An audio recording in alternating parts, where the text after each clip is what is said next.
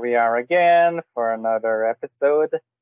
And this one deals with an annuity, of course. So deposits are made, this one at the end of every month into an account that earns 2.69% compounded quarterly. So the deposits are monthly at the end of the month. The compounding is quarterly, so this is an example of an ordinary general annuity. Anyway, this is not the focus. Classification is not the focus here. The focus is to find the maturity value and the interest earned. Yes, interest is of lots of interest here. All right, so let us begin. So the deposit is $162, so we can put it into the payment. 162. We can put it in negative, we are depositing. The money is leaving our possession. All right, end of every month, so we don't have to worry about anything. The end every month, so PY is 12, and the account it earns 2.69%. So let us insert that for IY, and it's compounded quarterly. So that means that CY is 4. All right, so let's skip N. We get to usually get the calculator to do that bit of calculation.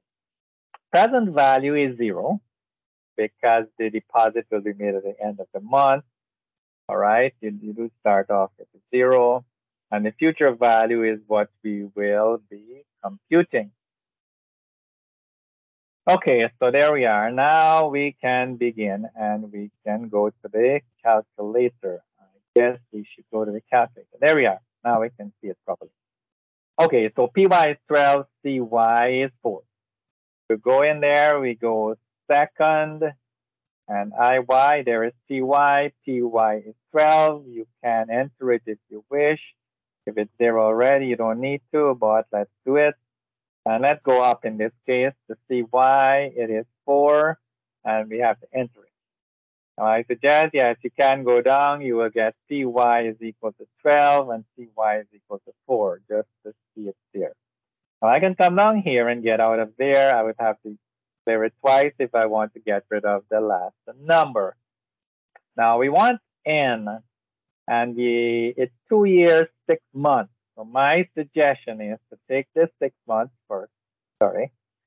Okay, take the six months and yes, proceed and divide it by 12 to convert it into years or part of a year. In this case, it's 0.5. And then we add the 2, so that is plus 2, and we get 2.5. But that is just the number of years. That to get n, we have to take the number of years and multiply by py, not cy. So that is the reason why I use the calculator to do it because it will not make a mistake. So I go second n, and it multiplied it for me, and then I insert the value into n, and that value turns out to be 30, which was really 2.5 times 12.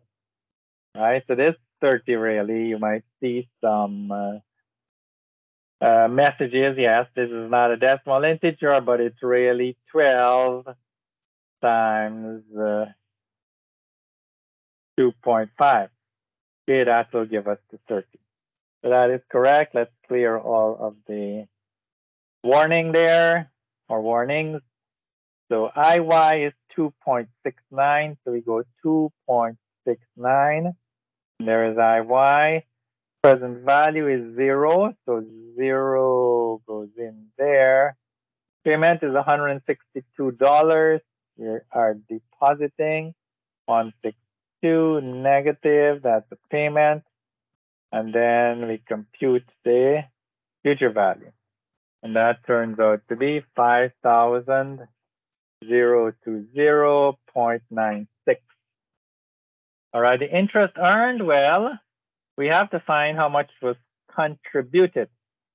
Okay, so how much was contributed? Well, if we recall the payment, we make it positive and we multiply by what? Yes, we multiply by this value of n. So to get that value, we must recall N, and then we press equal, and then we get the amount contributed was $4,860. Now, it's not required as an answer here, but we need it to get to the interest. So that is the amount that was contributed. So let's make that negative. Then I can add this amount here, 5020, 5020.96, and that should give me the answer of 160.96. All right, I will submit, and that would be the answer. Now, in the event you are wondering, and I guess I should have pointed that out. You could go and you could compute the the total amount contributed.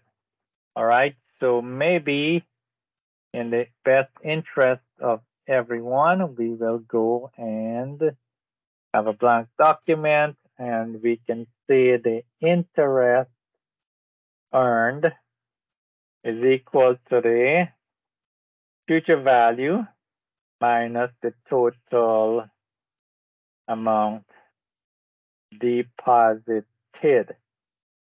All right, so, and that is really, so the interest earned is equal to the future value, right?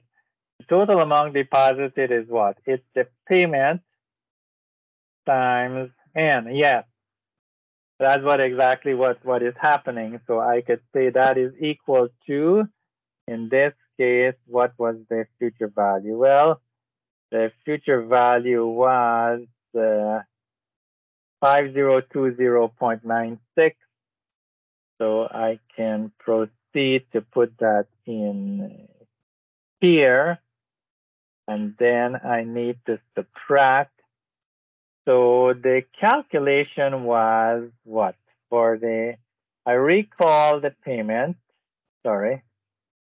I make it positive and then I multiply by the, the number for n, which is 30, 4860. Or I could say it's 162 times uh, 30. And then we get another number, 5020.96. Okay, minus uh, whatever that number was that showed up on the calculator, 4860. Okay, 4860. All right, and then we get an answer. So I can go back here like I did before, or if you don't like that, you could just recall the future value and then subtract 4860. And that will give us the answer 160.96. 160.96. Okay, which is the value that was entered right here. Okay, so that is it. You have done a calculation for the what? For an ordinary general annuity where PY and CY are different. And that will be the end of this episode until you we look or get another one.